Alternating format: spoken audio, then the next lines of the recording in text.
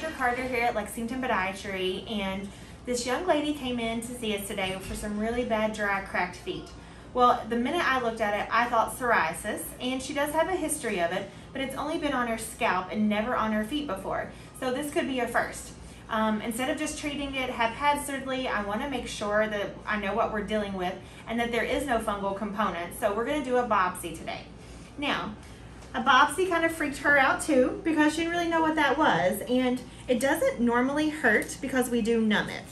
Um, a biopsy on the bottom of the foot is a lot worse than one up here because the skin is more soft and flexible, not so thick, and you don't walk on it all the time. Are you allergic to any numbing medicines, my dear? Okay.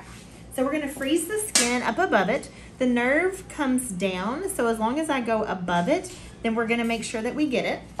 We'll spray some cold stuff on her to help freeze her. And then we're gonna poke in just right underneath the skin and inject a little bit of Marcaine with epinephrine.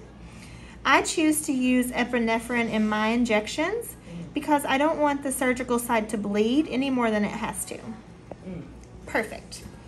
All right, so that is the pre-game show. We're gonna let it get real nice and numb and then we'll be back in a minute. We've got her all numbed up and cleaned with betadine. Now we're gonna test her. Can you feel that? Perfect.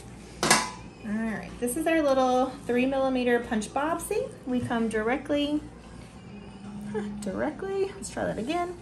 Into it, we twist, twist, twist, twist, twist, twist, twist. It punctures 45 degree angle and we pull it back out. Now, if we hadn't used the epinephrine, it would be bleeding a lot more than it is. There's our little specimen. Um, and we're gonna put that into a formalin container that my lovely assistant has prepared for me.